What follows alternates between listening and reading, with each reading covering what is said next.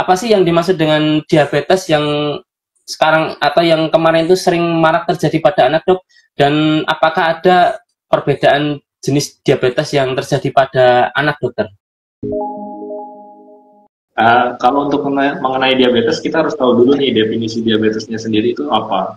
Jadi diabetes itu adalah uh, kelainan sistemik akibat terjadinya gangguan metabolisme dari glukosa itu. Nah, biasanya ditandai dengan hiperglikemi atau nama lainnya adalah kalau bahasa awalnya adalah uh, gula di dalam darahnya terlalu tinggi secara kronis. Berarti maksudnya penyakit diabetes ini adalah penyakit kronis, bukan penyakit akut yang memang berjalannya agak panjang nih. Makanya biasanya terkenanya pada orang tua. Cuman jangan salah, sekarang itu diabetes pada anak juga sudah banyak. Cuman memang seperti di uh, S fenomena S gitu. Jadi yang ketahuan itu sedikit, tapi sebenarnya banyak penyakitnya. Nah, kalau tadi ditanya itu untuk uh, tipe-tipenya ya, tipe-tipe untuk diabetes pada anak itu hampir sama dengan yang dewasa. Itu ada tipe 1. Tipe 1 itu itu karena ada gangguan dari produksi insulinnya sendiri, ada gangguan di pankreasnya sehingga adanya gangguan produksi insulin.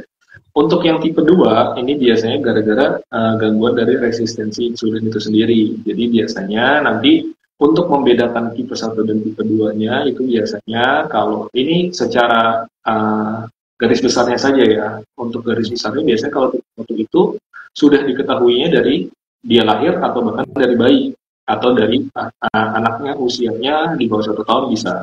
Untuk tipe 2 biasanya nanti di adolescence atau sekitar di remaja. Nah, untuk hmm. penampakannya biasanya kalau tipe 1 itu biasanya anaknya kurus-kurus. Hmm. Kalau tipe 2, karena faktornya dari resistensi, resistensi insulin, jadi untuk tipe 2 biasanya anaknya lebih cenderung ke gemuk-gemuk. Tapi tidak menutup kemungkinan juga anak kurus juga terkena tipe, uh, diabetes tipe 2. Ada lagi tipe yang lain adalah, uh, ini dikelompokin jadi ada tiga nih, tipe 1, tipe 2, dan tipe lain. Tipe lainnya ini sendiri biasanya agak jarang kalau pada anak biasanya ada namanya diabetes neonatal. Diabetes neonatal itu yang terjadi memang sudah saat neonatal itu di kurang dari satu bulan. Kira-kira seperti itu. Oke dokter. Uh, jadi antara diabetes tipe 1 dan 2 itu atau beberapa diabetes ada yang lebih bahaya atau bahayanya sama aja dok sebenarnya dok? Nah biasanya nih ya yang lebih sering akan terjadi untuk uh, kalau bahayanya kan itu uh, kita uh, kita tahu namanya ketoasidosis Nah, biasanya kalau di, pada orang-orang penderita diabetes itu ketoasidosis diabetikum. Nah, kalau hmm. untuk pada anak, karena prevalensinya adalah sekitar lebih dari 60% itu adalah untuk diabetes tipe 1, jadi biasanya diabetes tipe 1 akan lebih sering mengalami KAD atau ketoasidosis diabetikum tersebut.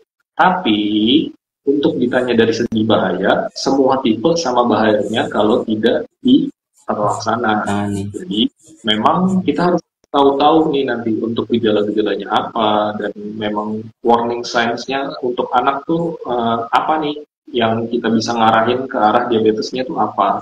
Karena memang kalau untuk dari semua tipenya kalau memang tidak ditangani itu tetap akan berbahaya.